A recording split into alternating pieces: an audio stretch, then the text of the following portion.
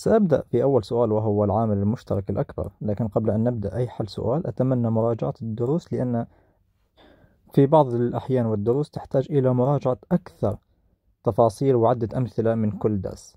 العامل المشترك يجب أن أقوم بتحليل العدد إلى أعداده الأولية عوامله الأولية والعدد الأولي للتذكير به هو العدد اثنان وثلاث خمسة سبعة إحدى عشر ثلاثة عشر هذا الذي يهمني. هنالك أعداد كثيرة غير منتهية لكن أنت احفظ هذه الأعداد. وعدد أولي أي أنه لا يقبل القسمة أبدا. الثمانية هي عبارة عن أربعة ضرب اثنان. الاثنان أولي لذلك لن أحلله لكن الأربعة هي اثنان في اثنان. العدد أربعة عشر هو اثنان في سبعة فقط وكلاهما أولي. فانتهى التحليل. الآن أكتب العددين فوق بعض. أربعة عشر وثمانية. ثم أكتب العوامل. وبما أنه اسمه عامل أكبر مشترك نبحث عن الأعداد المشتركة اثنان مع اثنان فإذا فقط هو اثنان. هذه الثلاثة أعداد لاحظوا جميع هذه الأعداد تقبل قسمة على ثلاث فإذا هو العامل المشترك الأكبر. لكن للتأكد قم بتحليل الأعداد. الواحد وعشرين هي عبارة عن ثلاثة في سبعة والعدد ثلاث والسبعة لا يحلل فانتهت القسمة أو انتهى التحليل. الأربعة وعشرين أستطيع كتابة ثمانية في ثلاث أو ستة في أربعة كلاهما صحيح. الستة ثلاثة في اثنان والأربعة اثنان في اثنان. وأيضا انتهى التحليل. العدد سبعة وعشرين هو تسعة في ثلاث الثلاث لا تحلل لكن التسعة هي ثلاثة في ثلاث. الآن بنفس الطريقة نكتب الأعداد فوق بعض بشكل صحيح لنبحث عن العامل المشترك. طبعا إذا كان لدينا أكثر من عدد مشترك نضربهم ببعض فلذلك أنا ذكرت من الأفضل مراجعة الدرس لدينا هنا في هذه أو في هذا المثال العدد المشترك هو فقط ثلاثة في كل الأعداد فإذا فقط العدد الثلاث هو عامل مشترك. أيضا آه، أقوم بحل هذا المثال الأخير. العدد 12 هو عبارة عن ثلاثة في العدد أربعة. الأربعة هي اثنان في اثنان. ثم أنتقل للثمانية عشر. هي عبارة عن تسعة في اثنان أو ستة في ثلاث كله صحيح. المهم أنك ستصل لآخر التحليل إلى نفس الأعداد. هنا طبعا ثلاثة في ثلاث. ستة وعشرين. العدد ستة وعشرين هو عدد زوجي وأي عدد زوجي يقبل القسمة على اثنان. اثنان في كم يعطيني ستة وعشرين؟ طبعا بالتجريب هي اثنان في ثلاثة عشر وكلاهما أعداد أولية. وأيضا قم بكتابة هذه الأعداد فوق بعض بشكل مرتب. اكتبها بشكل صحيح الستة وعشرين ثلاثة عشر في اثنان الثمانية عشر اثنان في ثلاث في ثلاث أو العكس. الأربعة هي اثنان في اثنان في اثنان. المشترك أيضا عدد وحيد. فلاحظوا هذه الأمثلة فقط كان لدينا عدد وحيد مشترك لكن في أمثلة الكتاب من الدرس راجعهم. هنالك أمثلة بها عدة أعداد تضرب ببعض عند إيجاد العامل المشترك. الآن النسبة. لكتابة النسبة دائما انتبه للقراءة خصوصا باللغة العربية. باللغة العربية أنا أقرأ من اليسار من عفوا من اليمين إلى اليسار. بهذه الطريقة الحبر إلى الرصاص. فلذلك عندما أكتب الكسر أكتبه من الأعلى إلى الأسفل كما قرأت الحبر على الرصاص. عدد أقلام الحبر قم بعدها بهذه الصورة هي ستة وأقلام الرصاص هي ثمانية. لكن دائما نقوم بتبسيط هذه الكسور وكلا العددين يقسم على العدد اثنان فيكون لدينا ثلاثة على أربعة. إذا طلب منك وضح معنى هذه النسبة. بما أنني كتبت المسميات ثلاثة حبر أربع رصاص فأنا أقول مقابل كل ثلاثة أقلام من الحبر لاحظوا البسط مع البسط يوجد أربعة أقلام من الرصاص. في هذا السؤال انتبه للسؤال لأداة الاستفهام. طلب مني أوجد نسبة الموز أوجد نسبة الموز لكن إلى من؟ إلى الإجمالي. الموز واضح هو عدده خمسة. لكن الإجمالي من كلمة إجمالي أي أنني سأقوم بجمع جميع هذه الثمرات للفاكهة. لدينا تسعة تفاح خمسة حبات من الموز وأيضا الخوخ أربعة ثمرات. وطبعا لا ننسى البرتقال في الأسفل هي سبعة. فاجمع هذه الأعداد لأقوم بإيجاد إجمالي الفاكهة هي خمسة وعشرين. فيكون خمسة على خمسة وعشرين. لكن أعيد دائما أحتاج إلى تبسيط الكسور بسط هذا الكسر عن طريق القسمة على العدد خمسة فيكون الناتج واحد على خمسة. ما معنى أن لدينا طبعا هنا لأنها إجمالي سأقوم بتغيير الجملة من بين من بين كل خمس حبات فاكهة توجد واحدة منهم هي حبة موز. عندما يكون لدينا كلمة إجمالي استخدم كلمة من بين. أما عندما لا يكون لدينا إجمالي اكتب مقابل مقابل الموز يوجد برتقال مقابل التفاح يوجد موز وهكذا. الآن لإيجاد معدل الوحدة هي فكرة مشابهة لأنني سأقوم بكتابة كسر بأبسط صورة. فالسؤال الثاني مثلا لو بدأنا في السؤال الثاني لدينا 162 زجاجة في تسعة صناديق 162 على تسعة. لكن بما أنه اسمه معدل وحدة سأقسم على المقام على تسعة. هنا أحتاج القسمة المطولة. واحد على تسعة لا تقسم فأخذنا الستة عشر مباشرة. ستة عشر قسمة تسعة واحد لأن واحد في تسعة هي تسعة. لا أستطيع أن أخذ اثنان لأن اثنان في تسعة عشر أكبر. طرحنا وقمنا بإضافة عدد اثنان. اثنان وسبعين قسمة تسعة هي ثمانية. انتهت القسمة ثمانية عشر. فلذلك ثمانية عشر زجاجة في كل صندوق وهذا هو المعدل. مرة ثانية في هذا السؤال الأول. اثنان وسبعين أونصة على ستة شرائح. أونصة من اللحم طبعا على ستة شرائح. الآن نقسم البسط والمقام على العدد ستة. ستة قسمة ستة بالنسبة للمقام هي واحد وهذا معدل الوحدة لكن اثنان وسبعين قسمة سبعة سبعة. عفوا قسمة ستة سبعة قسمة ستة واحد. واحد في ستة هي ستة الطرح وأضف الاثنان اثناش قسمة ستة اثنان. فيكون اثنا عشر فلذلك بالفعل وزن الشريحة الواحدة هي اثنا عشر أونصة. السؤال التالي أيضا قسمة مطولة. سأحتاج قسمة مطولة أربعين بوينت ثمانية على العدد ثمانية. وطبعا بما أن الأربعة لا تقبل القسمة على ثمانية فخذ الأربعين مباشرة. أربعين قسمة ثمانية هي خمسة. جداول الضرب يجب أن تحفظها. خمسة في العدد ثمانية هي أيضا أربعين. الآن عندما نطرح يكون الناتج صفر. لكن بما أنه لديك فاصلة عشرية أرفعها إلى الأعلى. لا تنسى الفاصلة العشرية أرفع الفاصلة العشرية إلى الأعلى. وقم بتنزيل العدد ثمانية. ثمانية قسمة ثمانية واحد.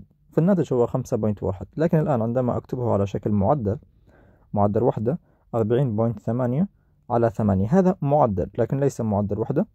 فلذلك اقسم البسط والمقام على ثمانية وأنا أوجدت الناتج طبعا. فلذلك ثمانية على ثمانية المقام هي واحد.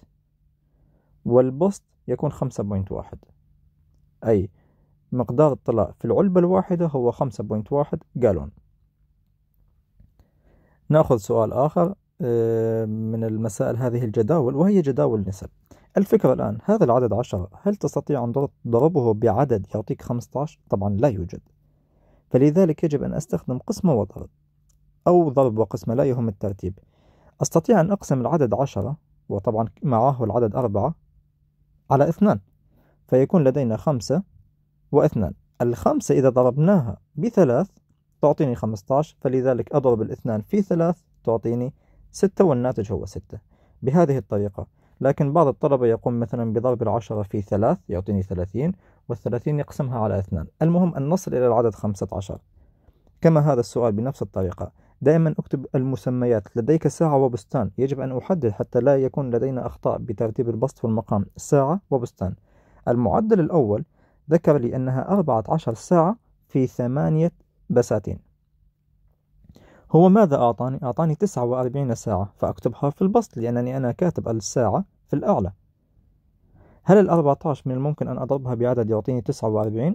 إذا لم أستطع فأقوم بقسمتها الأربعة عشر والثمانية تقبل قسمة على اثنان فأربعة عشر قسمة اثنان هي سبعة وفي الأسفل أربعة. الآن السبعة هل تستطيع جعلها تسعة وأربعين؟ طبعا بكل بساطة عندما أضربها بالعدد سبعة. فأيضا نضرب المقام في سبعة فيكون الناتج ثمانية وعشرين وهو العدد الذي يقابل تسعة وأربعين ساعة فالناتج ثمانية وعشرين بستان من دون جداول الضرب لا تستطيع حل الامتحان أبدا. الأزواج المتكافئة. وهنا أيضا سأعتمد على التبسيط لكن لاحظوا دائما كيف أنا أقوم بكتابة المسميات لدينا أميال وساعات. المعدل الأول عشرين ميل لاحظ عش... لكي لا أخطئ بالكتابة وخمسة ساعات. كلاهما يقسم على خمسة فيكون أربعة على واحد. هذه أبسط صورة. آه، المعدل الثاني. أيضا ميل على ساعة. خمسة وأربعين على تسعة. والعددين يقبلان القسمة على تسعة. تسعة قسمة تسعة هي واحد وخمسة وأربعين قسمة تسعة يساوي خمسة.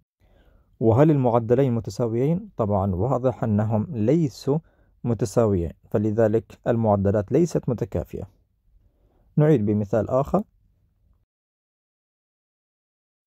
أيضا هنا مرة أخرى ولاحظوا وأؤكد يجب أن تكتب المسميات. لدينا قميص وأيضا لدينا مبلغ مالي سعر هذا القميص.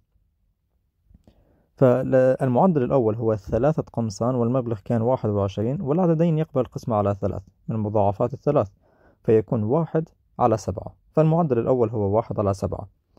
أما الثاني أيضا نكتب قميص على مبلغ أو تستطيع مبلغ على قميص لكن تعكس المعدلين. خمسة على خمسة وثلاثين قسمة خمسة يكون أيضا واحد على سبعة. فلذلك بما أن الكسرين متساويين فهما نسب متكافئة فأنت دائما تحتاج إلى التقسيم أو التبسيط والتبسيط يحتاج إلى قسمة. هنا السؤال الأخير الذي سأقوم بحله للنسب. لدينا ستين صفحة على ثلاثة أيام وتستطيع القسمة على العدد ثلاث لأنك انسى هذه الصفر. ستة قسمة ثلاث هي اثنان وأضف الصفر عشرين على واحد. المعدل الثاني تسعين على ستة. العددين يقبلان القسمة على ستة. وسنتأكد تسعين قسمة ستة بالقسمة المطولة تسعة قسمة ستة هي واحد. لأن تسعة بها ستة واحدة واحد في ستة ستة أطرح ثلاث وأضف الصفر ثلاثين قسمة ستة خمسة فالناتج هو خمسة عشر. المعدل الأول عشرين على واحد والثاني خمسة عشر على واحد. طبعا ليست متكافية. وهنا أيضا سنقوم بتقسيم الرميات على المحاولات. المعدل الأول كان ثلاثة على سبعة وطبعا ثلاثة على سبعة هي أبسط صورة. لا تبسط كلا العددين أو أعداد أولية. الثاني هو تسعة على أربعة عشر هي ليست أعداد أولية لكن لا يوجد بينهم عامل مشترك لكي أقوم بتبسيطها. لا تقسم. فهذه أبسط صور لكلا المعدلين وبما أنهم ليسوا متساويين فهما ليسوا متكافئين. ننتقل الآن إلى فكرة ثانية وهي تحويل الأعداد الكسرية إلى أعداد عشرية. العدد الكسري لكي يكون عدد عشري يجب أن يكون المقام احفظ إما عشرة أو مئة أو ألف أو عشر آلاف وهكذا. الآن في هنالك بعض الأعداد يجب أن أيضا أن تحفظها. عندما يكون لديك عدد مثل اثنان أو عشرين أو مئتين الاثنان يضرب في خمسة ليعطيني عشرة الأربعة تضرب في خمسة وعشرين لكي تعطيني مئة. فالآن الكسر الأول لدي سبعة وسبعين على مئتين. طبعا المئتين أتعامل معها كأنها اثنين. فأضرب في خمسة فيكون المقام ألف لأن لدي صفرين إضافيات. أما سبعة وسبعة وسبعين في خمسة نضرب بشكل رأسي. خمسة في سبعة خمسة وثلاثين. ثلاثة في اليد. وأيضا خمسة في السبعة الثانية أيضا خمسة وثلاثين وتصبح ثمانية وثلاثين. فهذا العدد العشري هو صفر بوينت ثلاثمائة وخمسة وثمانين. السؤال التالي. لدينا عشرين. هي مثل المئتين مثل الاثنان. أيضا تضرب بخمسة لكن هنا المقام يصبح مئة. خمسة على مئة. بما أنه مئة يجب أن يكون لدي خانتين خمسة ونضيف صفر في اليسار.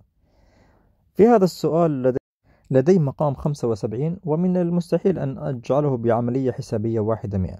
فلذلك العددين يقسموا على ثلاث 12 قسمة ثلاث أربعة وعشرين والخمسة وسبعين من دون قسمة مطولة هي ثلاثة خمسة وعشرينات. فالناتج هو خمسة وعشرين. والآن الخمسة وعشرين كتبناها منذ قليل تضرب بالعدد أربعة لكي تكون مئة. فستة عشر على مئة. هذا هو العدد العشري هنا لدينا ثمانية وواحد وعشرين على أربعين. الثمانية انساها. العدد الصحيح انساه. المقام أربعين مثل العدد أربعة. يضرب بالخمسة وعشرين. لكن نضيف عليه صفر إضافية لأنها ليست أربعة. هذه أربعين فيكون ألف وواحد وعشرين. في خمسة وعشرين تحتاج أيضا إلى الضرب. واحد في الخمسة هي خمسة. واحد في الاثنان هي اثنان. نقوم بإضافة صفر للانتقال. اثنان في خمسة عشرة. واحد في اليد واثنان في اثنان مع الواحد يكون خمسة. فالناتج خمسمائة وخمسة وعشرين على ألف. لكن لدي أنا عدد أصلا ثمانية فثمانية point خمسمائة وخمسة وعشرين. ليس صفر point خمسمائة ثمانية point خمسمائة وخمسة وعشرين. الآن سأقوم بتحويل من نسبة مئوية إلى عدد إلى كسر ليس عدد إلى كسر فقط. المقام هو مئة لكن قم بالتبسيط. كلا العددين يقسم على خمسة لأنهم ينتهوا بخمسة وصفر فيكون ثلاثة على عشرين. طبعا هنا العدد ثمانين في المئة هذا رقم السؤال. ثمانين في المئة أي ثمانين على مئة. وعندما تختصر ويكون لدينا أصفار احذف الصفر مع الصفر. أسهل للقسمة. فيبقى ثمانية على عشرة ويقسم على اثنان فيكون أربعة على خمسة. ثلاثة وثلاثين في المئة هي ثلاثة وثلاثين على مئة. لكنها لا تبسط لأن العدد ثلاثة وثلاثين يقسم فقط على ثلاث أو إحداش فهذه أبسط صورة. لكن هذا عدد عشري سأحوله إلى نسبة مئوية.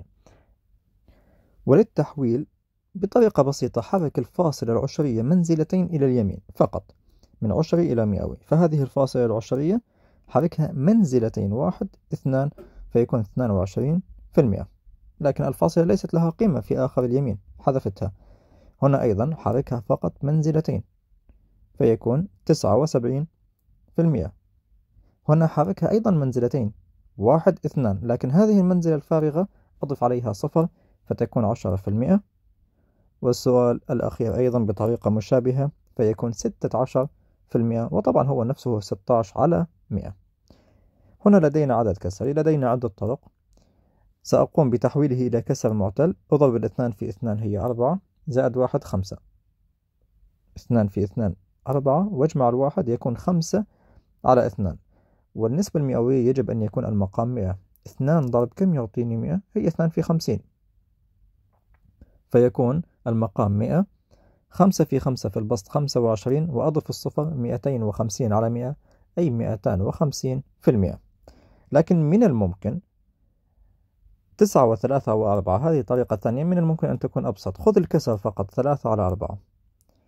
واجعل المقام مئة عن طريق الضرب بخمسة وعشرين فيكون خمسة وسبعين على مئة. لكن أنا لدي تسعة فهذه تصبح تسعمائة فيكون تسعمائة وخمسة وسبعين في المئة. أعيدها مرة ثانية في السؤال التالي. لدينا العدد أربعة. اتركه كما هو. فقط الكسر واحد على خمسة. اجعل المقام مئة عن طريق الضرب بعشرين فيكون عشرين على مئة وأضفه للأربعة فيكون أربعمائة وعشرين بالمئة. وهنا مرة ثانية هذه السبعة. هنا لا تحتاج الضرب. أضف أصفار ثلاثين في المئة فسبعمائة وثلاثين في المئة. نريد هنا حساب خصم لكن تقريبا فلذلك هذا العدد تقديره ثلاثين. وسأضربه بخمسين في المئة. أي خمسين على مئة. احذف الصفرين. صفر من الخمسين مع صفر في المقام وصفر من الثلاثين مع صفر من المقام. يبقى ثلاثة في خمسة. لكن انتبه لأن الأعداد ستختلف في الامتحان. هذه قيمة الخصم. هذا ليس سعر البيع هذه قيمة الخصم أو التخفيض. هو سألني ما هو سعر البيع؟ السعر الأصلي كان 30 احذف منها 15 فأيضا سيكون 15 لكن هذه صدفة. يجب أن تقوم بتوضيح العملية الحسابية. هنا أيضا بالتقدير الثلاثة وثلاثين في المئة قريبة من الثلاثين في المئة أربعمائة وستة وتسعين هي خمسمائة. فالآن سنقوم بحساب قيمة الضريبة أيضا عن طريق الضرب. خمسمائة ضرب ثلاثين في المئة أي ثلاثين على مئة. عملية ضرب مثل السؤال السابق ثلاثين على مئة ضرب خمسمائة احذف صفرين. يبقى ثلاثين في خمسة. ثلاثة في خمسة هي خمستاش وأضف الصفر مئة وخمسين. هذا السؤال سألني ما هي قيمة الضريبة فقط؟ هذه قيمة الضريبة مئة وخمسين. هذا السؤال أيضا يعتمد على التقدير. لدينا سبعمائة واثنين بطاقة ثمانية وخمسين في المئة منهم للفريق الوطني. سأقوم بحسابها بطريقة ثانية. النسبة المئوية وقدرناها للستين في المئة هي عبارة عن جزء على الكل من التعريف الذي أخذناه في الدرس. جزء على الكل. السبعمائة بطاقة هي الكل. السبعمائة بطاقة هي الكل. فلذلك سأكتبها في المقام. مئة ضرب كم يعطيني سبعمائة؟ هي في سبعة. فضرب البسط في سبعة. فيكون أضف الصفر أربعمائة وعشرين. لكن البعض بما أن السبعمائة عدد جدا بسيط حسابه يضرب مباشرة في ثمانية وخمسين. ثمانية وخمسين في سبعة يكون أربعمائة وستة. لكن الأربعمائة وعشرين هي بتقدير أسهل وأبسط. الآن الفكرة بسيطة. جمع عددين عشريين. دائما ضع الفواصل فوق بعض. واكتب الأعداد بشكل صحيح. خمسة وثمانية. لاحظوا بدأت بالفاصلة العشرية. واحد زائد ثمانية تسعة. الفاصلة إلى الأسفل. ثلاثة وخمسة ثمانية واثنان. السؤال التالي طرح. ولاحظوا دائما ابدأ بالفاصلة العشرية. ضع الفاصلة فوق الفاصلة ورتب العدد بشكل صحيح. خمسة سبعة سبعة أربعة. العدد الثاني اثنان ثلاثة سبعة واحد. أربعة ناقص واحد هي ثلاث. سبعة ناقص سبعة هي الصفر سبعة ناقص ثلاث أربعة أضف الفاصلة ثلاث. هنا أيضا أضع الفاصلة مع الفاصلة لكن الستة ليس لها فاصلة. أي عدد ليس له فاصلة؟ الفاصلة في اليمين بهذه الطريقة لكن هذه الخانة الفارغة أكتب بها أصفار لأستطيع أن أستلف. طبعا صفر ناقص ثمانية لا يجوز. استلفنا من الستة أصبحت خمسة وهذه عشرة استلفنا منها مرة ثانية فيكون عشرة ناقص ثمانية اثنان تسعة ناقص سبعة اثنان. والخمسة ناقص أربعة هي الواحد. هنا مجموع عملية جمع. دائما لاحظوا الفاصلة كيف أكتبها. تسعة وعشرين بوينت ستة ثم نرتب العددين أربعة عشر وهذه السبعة. جمع فلا أحتاج إلى الاستلاف. ستة وسبعة ثلاثة عشر واحد في اليد. ونضع الفاصلة. أربعة عشر وواحد في اليد أيضا والناتج أربعة أيضا. في هذا السؤال لدينا ضرب لكن نقدر. التسعة point سبعة هي عشرة والثلاثة point ثلاث يساوي الناتج ثلاثين. لاحظوا الستة عدد كريم يعطي الخمسة فتكون ستة والأربعة لا تعطي الثلاث فإذا ثلاثة في ستة ثمانية عشر. الفكرة من التقدير لكي لا أحد يسأل الفكرة من التقدير أن أقدر أو أقرب إلى أكبر منزلة. فالعدد 17 أكبر منزلة هي العشرات فأقرب إلى العشرات. السبعة هل السبعة تعطي الواحد؟ طبعا تعطيه فيكون عشرين. وهنا لدينا آحاد. الأربعة لا تعطي الثمانية فثمانية. أضف الصفر. اثنان في ثمانية ستة عشر. دائما قدر إلى أكبر منزلة. فالواحد وسبعين أكبر منزلة هي السبعين العشرات. وهنا طبعا آحاد. اثنان تبقى فقط. أما هنا الواحد لا يعطي السبعة فسبعين. سبعين في اثنان مئة وأربعين. فانتبه التقدير لأقرب منزلة. هنا آحاد. الصفر لا تعطي الثمانية هي ثمانية. هنالك عشرات الثمانية تعطي الاثنان فتكون ثلاثين لأن كل الأعداد أكتبها أصفار ثلاثين. وطبعا هذه الأصفار ليست لها قيمة بعد الفاصلة ثلاثين في ثمانية مئتين وأربعين. لكن هنا عمليات ضرب صحيحة من دون تقدير. لاحظ لدينا فاصلة عشرية بعد منزلة واحدة نضرب السبعة في التسعة فقط ثلاثة وستين. الفاصلة بعد منزلة واحدة فنكتبها في الإجابة بعد منزلة واحدة. هنا اضرب اثنان في ثلاثة عشر من دون الفاصلة العشرية. تساوي ستة وعشرين. لكن الفاصلة بعد منزلة واحدة فنكتب الفاصلة بعد منزلة في الإجابة النهائية فيكون 2.6 هنا الفاصلة قم بعدها بشكل صحيح. واحد اثنان أربعة منازل. فاضرب الآن. 19 في ستة وثلاثين. تسعة في الستة أربعة وخمسين. خمسة في اليد ثلاثمائة وأربعة وعشرين. وضعنا صفر الانتقال الناتج النهائي للضرب ستمائة وأربعة وثمانين لكن كما ذكرنا الفاصلة بعد أربع منازل. لاحظوا والخانة الفارغة أضفنا بها صفر. أما هنا ثلاثة في اثنان هي ستة لكن الفاصلة بعد منزلتين. فقم بالعد من جهة اليمين واحد اثنان وأضف أصفار كما ذكرنا فستة أجزاء في المئة.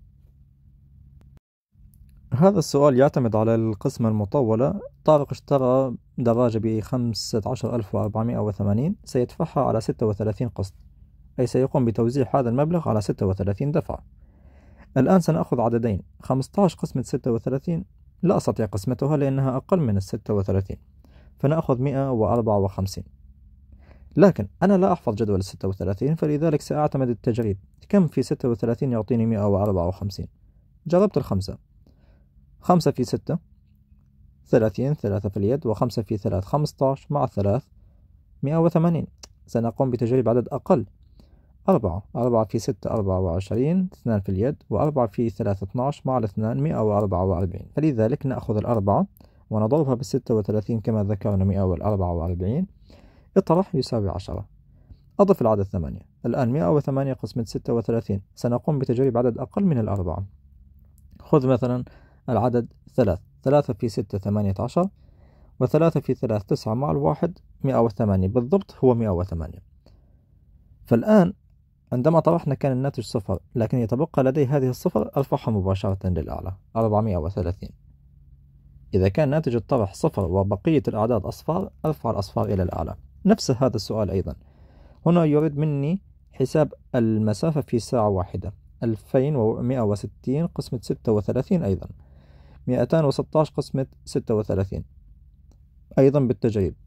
لو لم يكن لدينا المثال السابق سبعة في ستة هي اثنان وأربعين سبعة في ثلاث واحد وعشرين مع الأربعة خمسة وعشرين. سنقوم بتجريب عدد أقل ستة.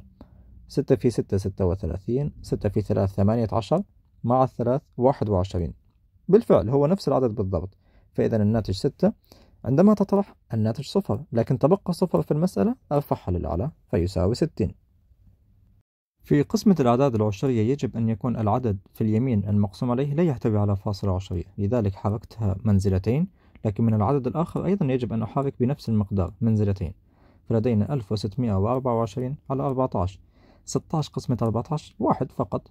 ثم طرح يساوي اثنان أضف الاثنان.